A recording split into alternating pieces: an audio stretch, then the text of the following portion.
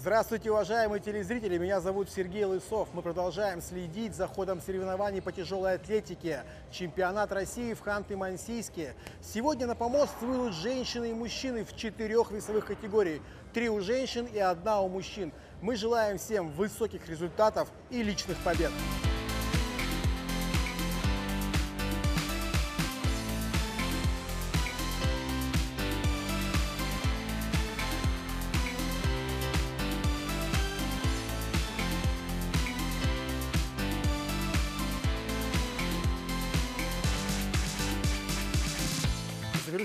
Первый поток второго соревновательного дня. Девушки в весовой категории до 55 килограмм. Представительница Воронежской и Ульяновской области Светлана Ершова заняла первое место, став абсолютной чемпионкой России. Но почему-то осталась недовольна своим результатом. Давайте узнаем, почему. Надо работать на результативность, на прибавку в результате. Мне важна сумма, а не место. В сумме не получилось собрать то, что нужно было собрать. Поэтому по эмоциям я расстроена. Нужно прибавлять в результате.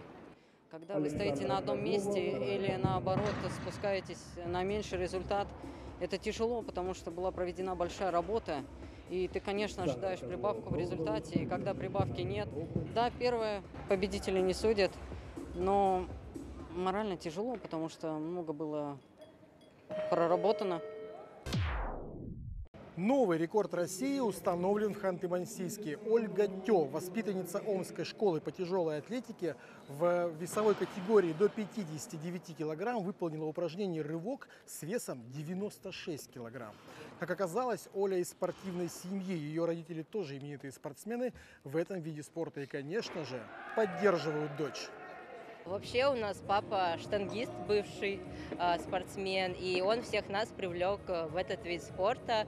И ну вот так я и попала, собственно говоря, перейдя со спортивной гимнастики, захотела заниматься тяжелой атлетикой. Но мама тоже всегда поддерживает, семья есть семья. Некоторым, наверное, тяжело с родителями тренироваться. Я не скажу, что мне тяжело, мне наоборот проще и легче, потому что это родители, это твоя кровь, они тебя знают от и до, и всегда подстроятся под твой режим, где-то что-то скорректируют, да, ты всегда с ними открыт и честен, и тогда результаты получаются. Каждый раз, когда выступаешь, и сразу после соревнований ты начинаешь только отходить вот от этого всего, и где-то через час, конечно, уже наступают какие-то эмоции, осознание, конечно, радость, естественно. А, где-то не все получилось, но результат как бы первое место, и это не может радовать. В рывке довольна, мы отработали все три подхода, в толчке можно было толкать 116, но, наверное, не было уже той мотивации выходить и толкать этот вес. Повышаем градус впечатлений. На помост поднимается мужская половина атлетов. Весовая категория до 61 килограмма, 14 заявленных участников. Максимальный вес в рывке достигает 121 килограмма, что вдвое больше собственного веса спортсмена. А в толчке еще больше, около 140. Все внимание на сцену.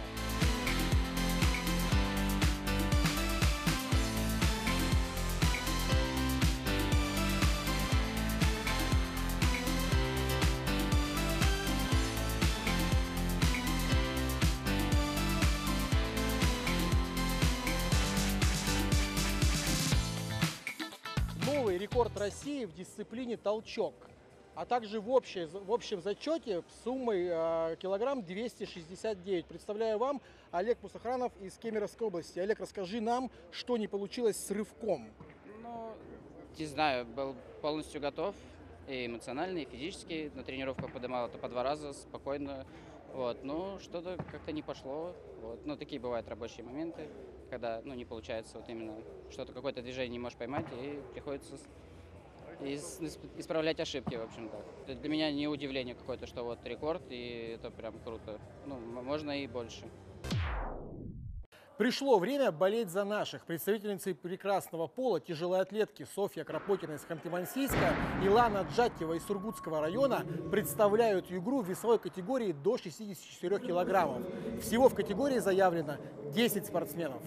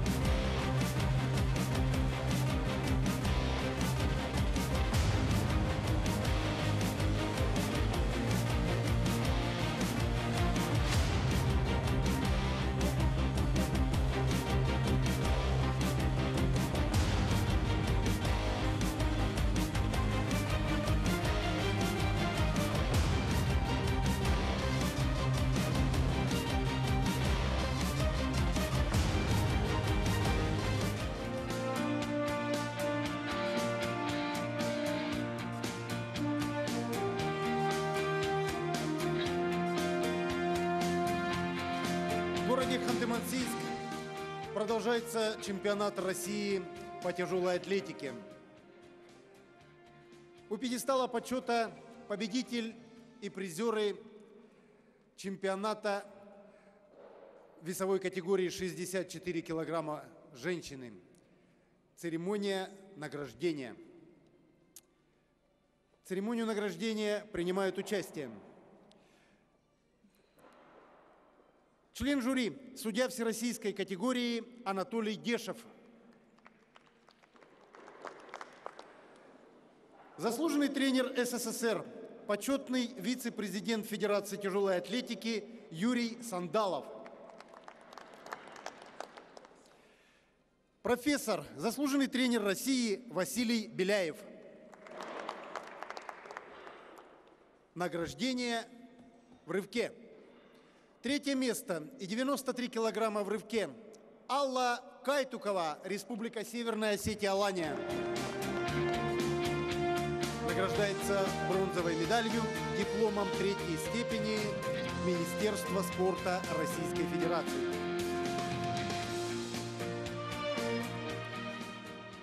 Второе место и серебряная медаль. 94 килограмма в рывке. Янна Кондрашова, Московская область.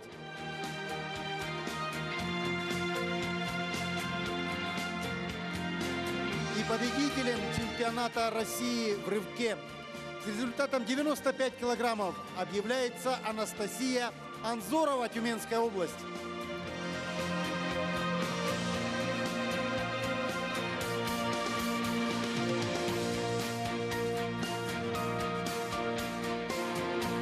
Фото на память и аплодисменты зрителей. Спасибо. Награждение в толчке. Третье место. 113 килограммов в толчке. Наталья Шайманова, Чувашская республика, Владимирская область.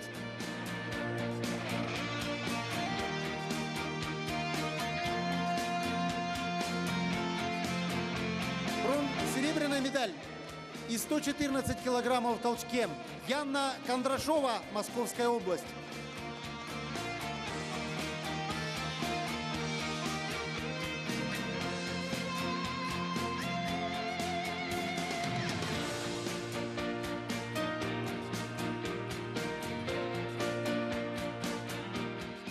Победителем с результатом 118 килограммов в толчке объявляется Анастасия Анзорова, Тюменская область.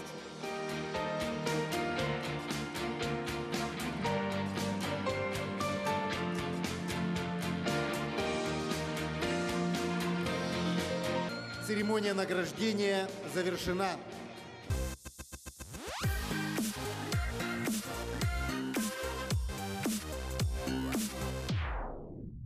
Завершилась последняя на сегодня весовая категория. Это женщины, вес которых не превышает 64 килограмма.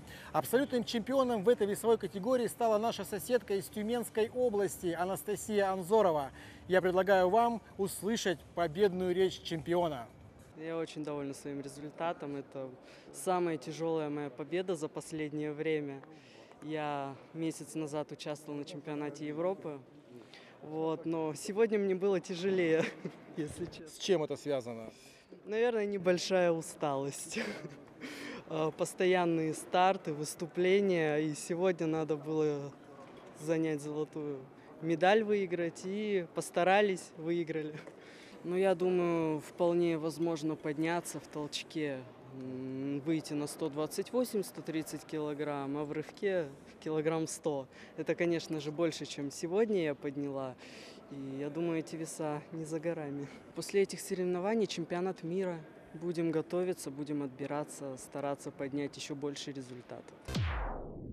Я никого не удивлю, если скажу, что тяжелая атлетика является травмоопасным видом спорта. Именно поэтому спортсмены всегда используют спецсредства. Это специальные э, пояса, обувь, одежда, эластичные бинты. Безусловно, они разминаются перед выполнением тех или иных упражнений. Но никто не застрахован от травм. Именно поэтому на таких соревнованиях всегда присутствуют врачи спортивной медицины. Какие они выполняют здесь функции, как помогают спортсменам, мы узнаем прямо сейчас.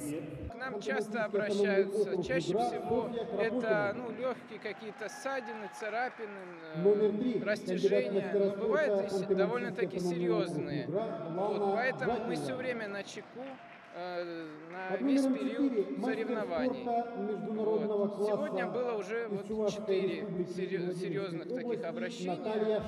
Мы оперативно помогаем. Если нужно, э, с помощью скорой госпитализируем. Было растяжение длинной головки бицепса правого плеча. Вот. э, ну, под вопросом был разрыв, поэтому мы решили ее по скорой отправить в травмпункт, чтобы дальше оказали помощь ей. Вот. Второй случай тоже был, что растяжение э, мышцы бедра там было, двуглавой тоже. Э, Вот, и тоже под вопросом разрыв. То есть разрывы мышц это весьма вероятно на таком виде спорта, и поэтому мы на чеку все время. Второй день соревнований подошел к концу, и он был насыщенным на рекорды. Федерация тяжелой атлетики России сегодня зафиксировала 4. В дисциплине рывок установлен новый вес в 96 килограмм Ольгой Тё. Весовая категория до 59 килограмм. В категории до 61 килограмма у мужчин установлен новый максимальный вес среди юниоров. Элкан Гвазава рывком поднял 121 килограмм. Толчок среди юношей поддался Артему Егиян. Здесь 130 килограмм. И уже известный нам Олег Мусахранов из Кемеровской области толкнул штангу весом 148 килограмм. И в общем зачете набрал 269 побив предыдущие рекорды. Мы с вами не прощаемся. В это же время вернемся завтра в эфир телеканала Югра. Оставайтесь с нами, болейте за наших, любите спорт.